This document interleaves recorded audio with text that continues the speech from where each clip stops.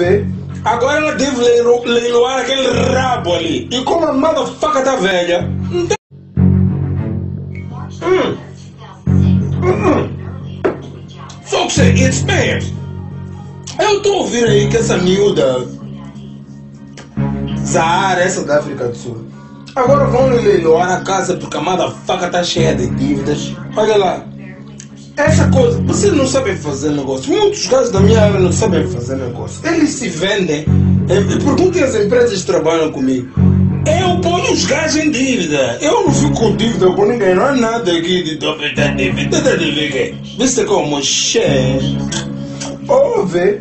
Agora ela deve leilo- leiloar aquele rabo ali. E como a motherfucker tá velha, não tem como. Chefe.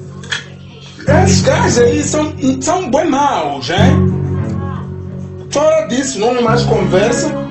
Licença, cuidado com todos os macorocochos. Muito mal em quen quen quen.